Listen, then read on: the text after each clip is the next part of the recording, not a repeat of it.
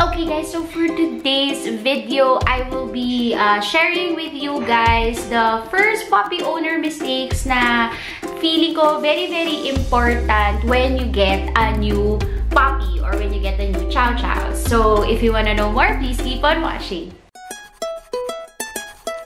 Mom! Hi guys! Welcome again to another vlog. It's me, Mommy Nay. Welcome, welcome, welcome, welcome back to my channel. If you're new here, please do not forget to like and subscribe. Okay, so bago muna tayo mag-start sa aking vlog for today, let's have our comment of the week. Okay, so um, the comment of the week is from Diane Grace Duenas. Um, she says, Hello, Mommy. I'm getting a cha-cha next week na po and I'm su and I super need your tips and advice on how to make my baby cha-chow healthy and also I need to know po if what's the best vitamins and supplements for my puppy chow. Sana pansinin niyo po ako. Okay, so for obvious reasons, um, hindi natin pag-uusapan masyado yung talagang essential needs ng chow kasi meron na po akong vlog about that. So I'll link that below. However, um, since marami akong nakikitang comments about puppies, how to really raise a good puppy, how to, yun nga, how to make them more healthier, um, I just want to create this vlog para talagang ma-prevent natin yung mga unnecessary behaviors na pwedeng uh, kalakhan ng inyong uh, chow-chow. So, without further ado, let's get started. Okay, number one.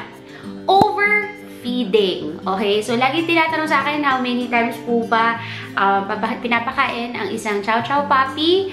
Um, again, ulitin ko po, it is ideal that you feed them three times a day, one cup. If you're the owner na feeling mo medyo underweight yung dog mo or hindi mo feel mo, sinasabi ng doctor mo na underweight ang iyong dog, um, yes, you could give snacks during training times, but you have to make sure po na at least it is 2 hours or 3 hours their meal time. So, kung pinapakain mo yung aso mo ng 6 o'clock or 7 o'clock, make sure that you give them a treat at what, in between those times. Tapos, use it during your training or yung when you play.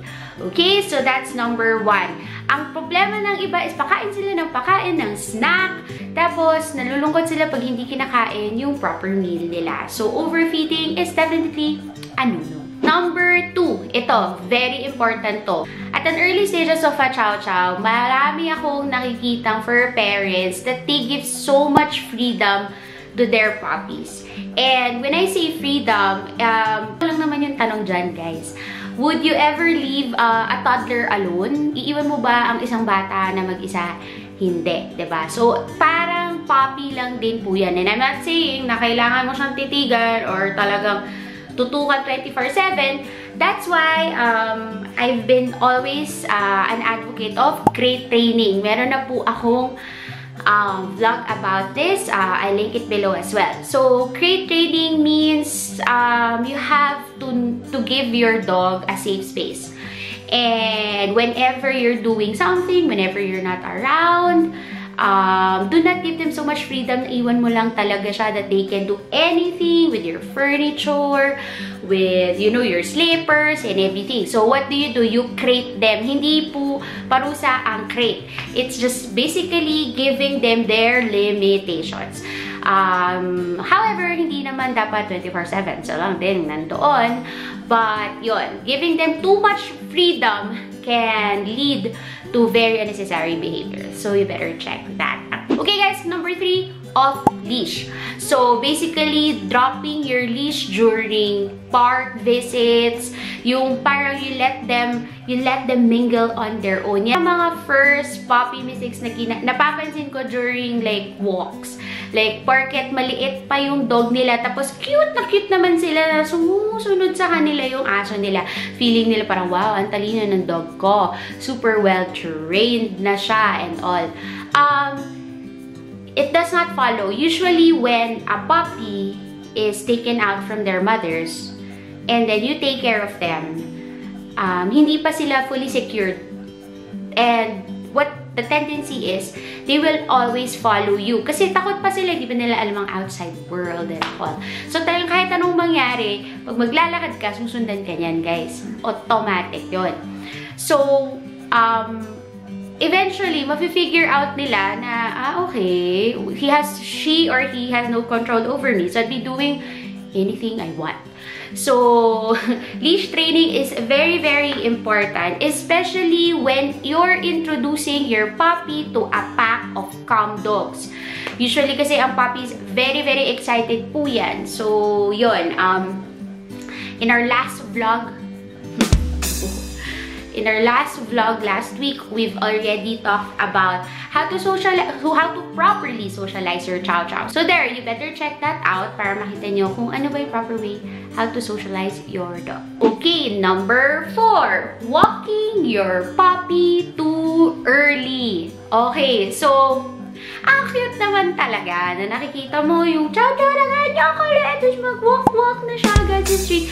I know, guys. I know, I know. I know, paulit-ulit ako, exercise your dog every day. Sabi mami, kailangan i-exercise. So, kahit hindi pa in the right timing, iwo-walk na ang kanilang chow-chow para hindi maging aggressive. There's such a thing as too early. Okay? That's, that's such a thing. So, kailan po ba yung right time for you to walk your dogs or your chow chow. So, it's usually after they finish their um, vaccinations, yung kailangan na vaccinations ng isang uh, puppy. So, pero hindi yun agad-agad. Ah. Like, for example, ngayon yung turok niya, oh, sabi nila, tapos naman na. Let's, ano na, let's go to the park and dress up our chow chow. Hindi po. Um, it is um, two weeks after your last vaccination. So, after that, um, dun mo palang pwedeng ipamingle at um, start i-walk ang inyong dog. Number five, not learning your chow chow or your dog's love language.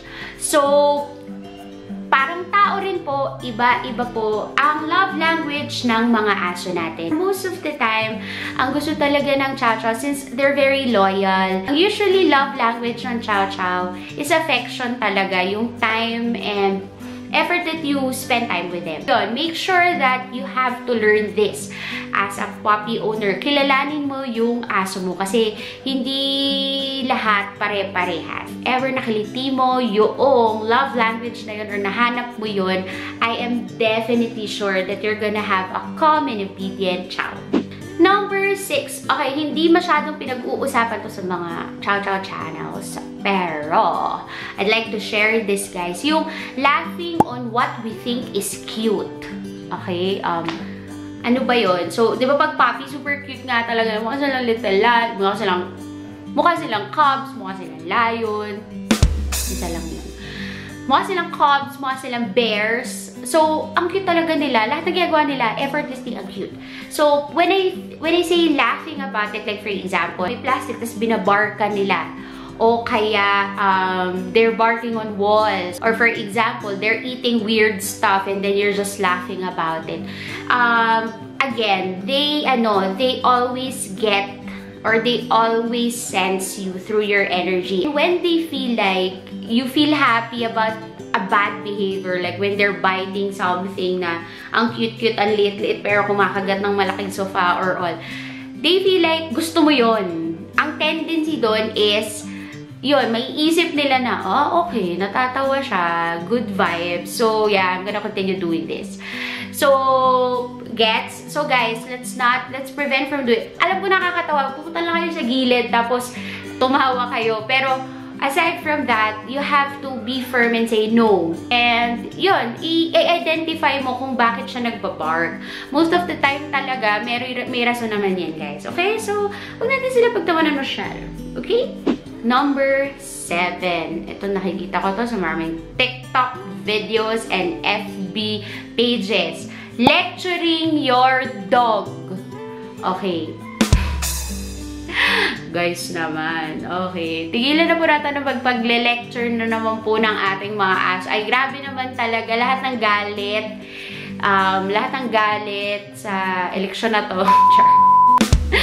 lahat ng galit sa mundo, eh talaga naman binuhos sa kanilang puppies na binibili kita, mahal-mahal ang pagkain mo, um, hindi ka marunong tumuon ng utang na loob. Guys, okay, the only thing that makes sense in a dog are commands. Okay? The rest of the words that you're saying, they do not understand that po. What they kaya, kaya feeling mo, some, most of the time, mga to, super oh, sad, and para no, pahabang nililecturean mo siya, ang nagigets niya doon, again, is yung energy na binibigay mo sa kanila, yung anger, yung frustration, yung anxiety. So, they feed the energy. Okay po? So, if I were you guys, just stick with your commands. One word is enough. More than three words is nothing. Wala masyadong effect sa kanila yan. At most of all, wag po tayong mamamalo. May mga pachinelas pa yung iba. So, let's not do these things, guys. Let's um, be more objective in terms of raising our puppies. Uh, I have also training tips or mga commands that you should be teaching your puppy at a very young age. So, I'll link that below as well. Okay, number 8. Substituting yung dental sticks to actual brushing their teeth. So, ko to guys na, syempre pag nangingipin talaga yung chow natin, yung mga puppies natin, sobrang masakit, masakit, masakit siyang toothbrushan. So, ang ginagawa ng mga tao, sige, wag na lang mag-toothbrush this week, dental sticks na lang. Okay, dental sticks is supplementary and parang partly of their teeth lang po yung nalilinis doon. So guys, huwag natin kakaligtaan yun kasi talagang mahirap po pag namuahan ng mga cavities yan or ano, usually po talaga inooperahan po yan for real. Eventually, when they grow old and you do not take care of their dental um, hygiene, um, usually kapag ano, mag, mag-infect and lalala po yan. So yes, please do not only depend your dental hygiene or dental health of your chow chow sa dental sticks. Number 9, taking your puppy too soon to be groomed.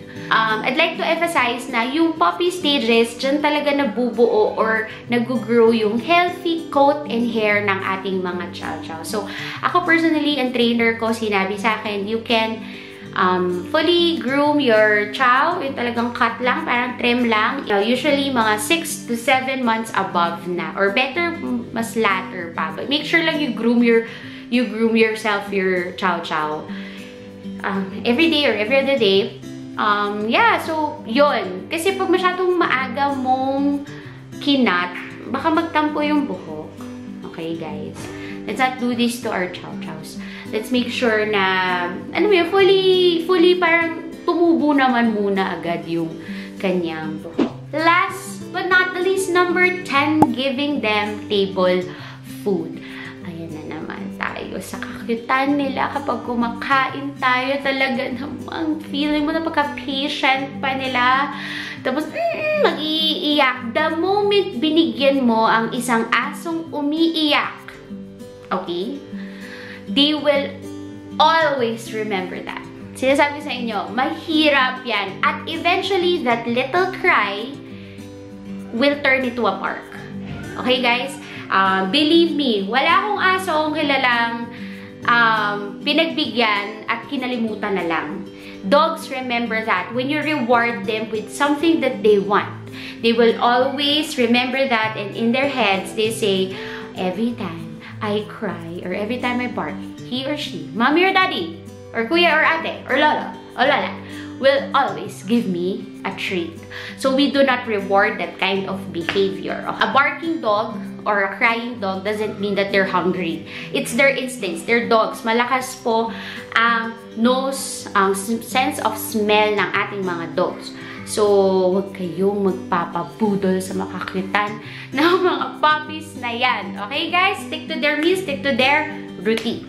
There you have it, guys. Hopefully, may natutunan na naman kayo kay Mommy Nail. Make sure to put your questions below or comments because we will have our Q&A part 2 next week. So, I'll be shooting that with my husband again, si Daddy Don. So, there. Um, I'll see you again on my.